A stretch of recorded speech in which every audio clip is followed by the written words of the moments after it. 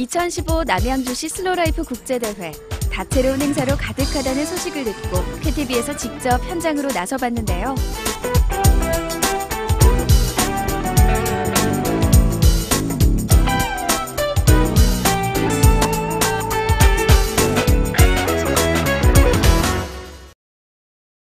안녕하세요. 쾌TV 최윤우입니다. 지금 남양주시에서는 슬로라이프 축제가 한창 펼쳐지고 있는데요. 자신에게 맞는 삶의 속도를 제시하는 슬로라이프. 다채로운 체험들로 가득한 그 현장 지금 소개해드리겠습니다. 함께 가보시죠.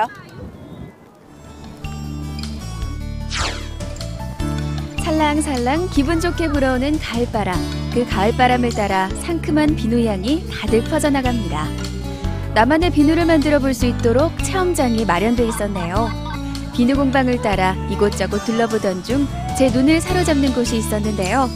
바로 예쁜 꽃과 식물로 가득한 화분을 판매하는 곳이었습니다. 안녕하세요. 예 안녕하세요. 아, 안녕하세요. 꽃이 피우는 과정이 자체가 다 그 좀 slow life지 않습니까? 그, 그 웰빙을 할 수 있고 하니까 뭐 그렇게 따지면 연관이 있다고 할 수 있겠지 않을까요? 아, 그러세요? 그러면 저한테 어울리는 꽃 화분 하나만 추천해 주세요. 그래도 이제 아까- 아까도 말씀드렸지만 가을은 국화의 계절이니까 그 센노란 국화가 굉장히 어울리는 것 같습니다. 아, 그래요? 생각 볼까? 그거 볼까요? 굉장히 좋은 꽃이죠. 아, 그럼 제가 사가야겠어요. 네, 하나 사가십시오. 네. 감사합니다. 앞서 살펴본 비누 공방 이외에도 다양한 체험 프로그램들이 관람객들의 방문을 기다리고 있었는데요. 색이 고운 한지공예 체험과 하늘 높이 싱싱 날릴 수 있는 연을 직접 만들어 볼 수 있는 부스들이 마련돼 있어 어린이들에게는 재미를, 일반 관람객들에게는 진한 추억을 상기시켜 줄 수 있었습니다.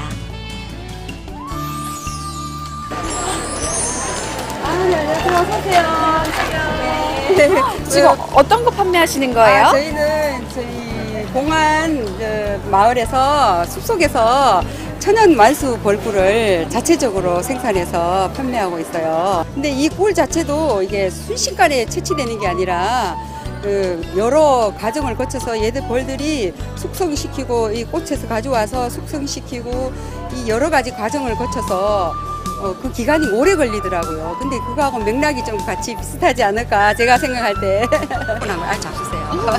어, 빨리 입에 넣으세요.